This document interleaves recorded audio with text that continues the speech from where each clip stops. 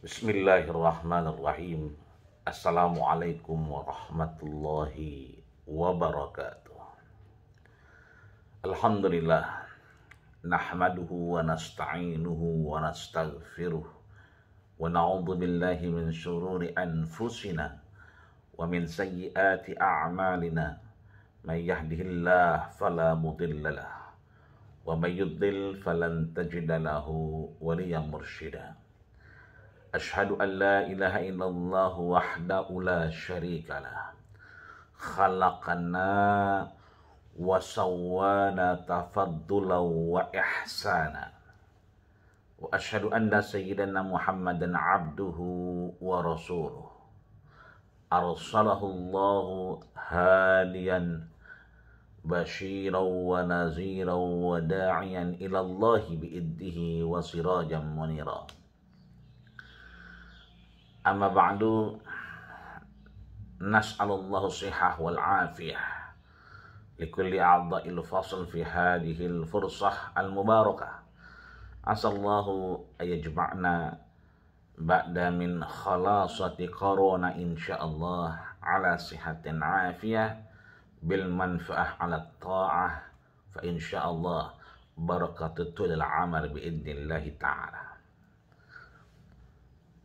ونحت إلى الدراسة التالية. كما عرفنا أقل عدد لحروفه أو يعمل في فعله فعل ثلاثة.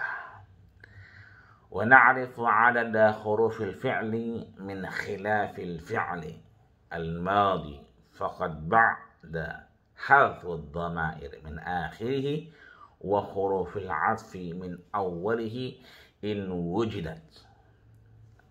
أكرر مرة ثانية. إن وجدت. إذا أقصى عدد لحروف الفعل الماضي عادة ستة. حروف فيه حروف الزيادة. الحرف التي تزاد على المجرد الثلاثي أو المجرد الرباعي أو غيرهما. أكرر ثانية. الحروف التي تزيد فيها على المجرد الثلاثي والمجرد الرباعي وغيرهما مصورة في عشرة أحرف يجمعها قولك مثلا سألتمونيها سألتمونيها أو اليوم تنشاه. أو هناء وتسليم. ومن الزيادة أيضا كما عرفنا التضعيف لعين الفعل ولا يلزم في كل مجرد أن يستعمل له مزيد مثل ليس خلا مثلا. ونحوهما من الأفعال الجامدة.